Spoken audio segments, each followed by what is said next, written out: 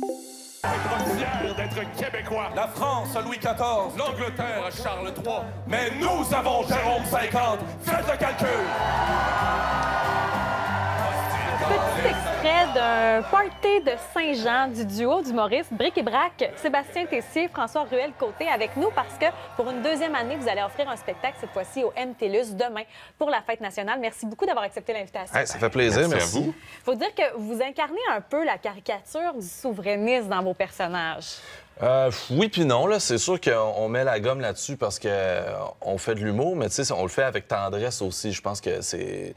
On essaie de, de parler des Québécois aux Québécois en étant le plus power Québec possible. Fait que ça donne ces deux bonhommes-là. Mais pourquoi c'est important pour vous de la souligner, la, la Saint-Jean-Baptiste, de cette façon-là? Ben pour nous, c'est un peu notre Noël. Ouais. C'est le Noël des personnages. euh, Puis euh, pour nous, c'est important, justement, comme euh, François a dit, de parler aux Québécois du Québec. Puis pour nous, c'est la meilleure occasion, le 23 juin, de le faire à Montréal. Euh, on trouve que c'est une occasion idéale de faire un énorme party aussi. C'est pour ça qu'on a décidé de rester jusqu'à 3 h du matin au NTLUS. Yes! Mais puis c'est assez rare de, de porter ce message-là d'amour. Souvent, on entend des personnes plus âgées qui étaient là, par exemple, au référendum. Ouais. C'est plutôt rare chez la relève d'avoir ce- cet amour-là du Québec, non?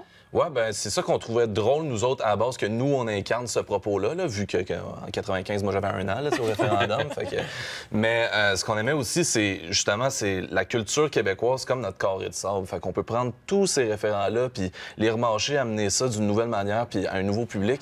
Fait qu'est-ce qui est le fun, c'est que oui, on va rejoindre du monde, euh, surprenamment, des fois plus vieux, tu qui l'ont vécu pour de vrai, mais aussi beaucoup de jeunes, des gens de notre âge, des gens encore plus jeunes, puis on se rend compte qu'on s'approprie notre culture, que c'est à nous, puis on peut jouer avec, puis se faire du fun, puis faire ce qu'on veut, puis faire découvrir des poètes, puis euh, avoir des belles discussions, même si on dit des, des super grosses niaiseries, tout ça, mais après les shows, on jase de vraies affaires, puis on a du fun, tu sais. Oui, parce que c'est ça que vous mettez en lumière. Il y a des poèmes, entre autres. Tout le monde essaie de vous catégoriser dans un style d'humoriste, mais vous avez comme votre créneau à vous autres. Oui, ben Ouais. c'est ça, exact. Nous, à la base, on vient du théâtre, donc euh, on a décidé d'y aller avec une proposition un petit peu euh, incarnée. C'est pour ça qu'on euh, on se cache derrière des personnages, mais l'idée, vraiment, c'est de faire rire autant que d'être touchant. Puis, euh, C'est aussi de créer un univers. là. Je pense que c'est ça. tu sais, Les gens sont complices avec nous autres. Ils embarquent dans cet univers-là. L'année passée, il y a quelqu'un qui nous a dit après la Saint-Jean, c'était fou. C'était comme si c'était le bicoline de la souveraineté. Tout le monde était dans l'univers avec nous. Puis c'est ça qui est le fun. C'est comme un, un safe space où est-ce c'est qu'on comme se un rejoint gros tous. match de lutte, le C'est 23 ça, juin, nous c'est autres. Mais ben, est-ce que quelque part, ça peut raviver la flamme de ceux qui sont peut-être un peu découragés des fois du Québec ou qui se sentent peut-être moins interpellés? Est-ce que ça peut aider à. J'ai l'impression que oui, honnêtement. Complètement. Puis c'est parce qu'on on va prendre aussi des, affaires qui sont passées dans le temps, mettons des discours à Bourgault ou du René Lévesque.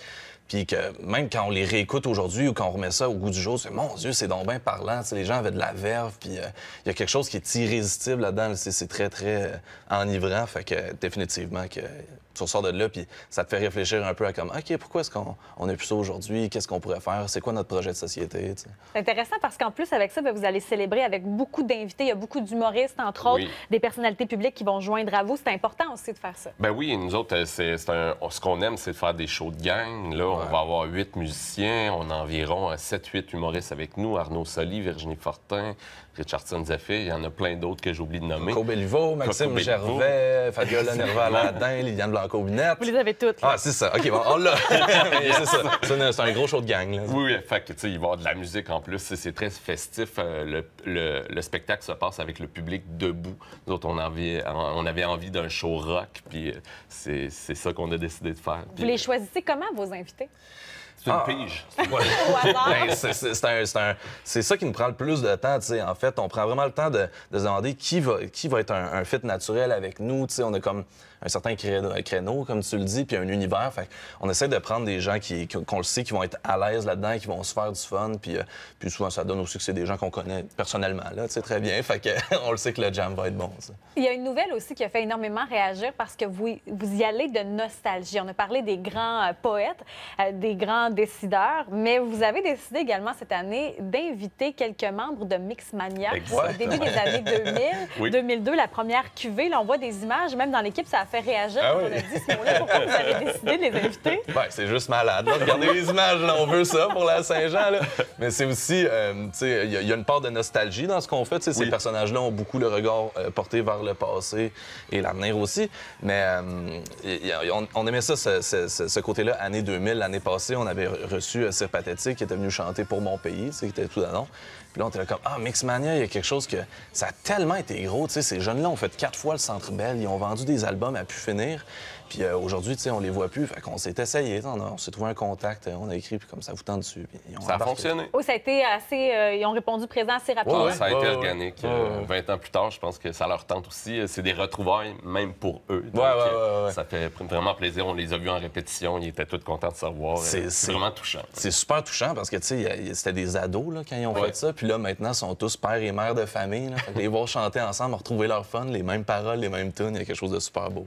Puis on a vu des, des retrouvailles à un moment donné du groupe, mais j'imagine que ça doit être dans les premières fois depuis que la vague est passée de, de se faire inviter dans un show euh, sérieux, entre guillemets. Oui, Oui, absolument. J'aime bien le entre guillemets de sérieux là. Ouais, dans ce genre de show-là. Mais oui, c'est la première fois depuis le documentaire, en tout cas, qui nous disait qu'ils qu'ils se revoyaient même. Mais c'est intéressant parce qu'on oublie cette vague-là. C'était dans les premiers balbutiements au Québec des téléréalités. Oui. C'était un petit peu juste avant euh, Star Academy. Ouais. Donc, ça avait fait beaucoup réagir. C'est vrai qu'on l'a un peu boudé. On dirait après, on a eu un- une petite gêne, on dirait, Ouais, d'aimer ouais, ça. Finalement, ça revient au bout du jour un peu. Complètement. Puis, tu sais, nous autres, on a eu une répétition musicale avec eux. Puis, euh, c'est des tunes qu'on connaît toutes, ça rentre. Puis, on était comme, Colin, c'est bon. Ça. Si sortait un album aujourd'hui, je suis sûr qu'il en vendrait plein. Là. Ouais, sur Spotify, là, en tout cas. Le monde a changé. Le monde a Le changé. monde a changé, mais vous êtes là pour nous raconter finalement. C'est. Exactement. Merci beaucoup d'être passé à l'émission. Donc, c'est demain au MTLUS. Mais sinon, il y a d'autres dates de spectacles qui se greffent dans votre agenda. On va suivre ça de très près. Merci beaucoup, Brigitte Hey, Braque. Merci à toi. Merci. Bonne journée.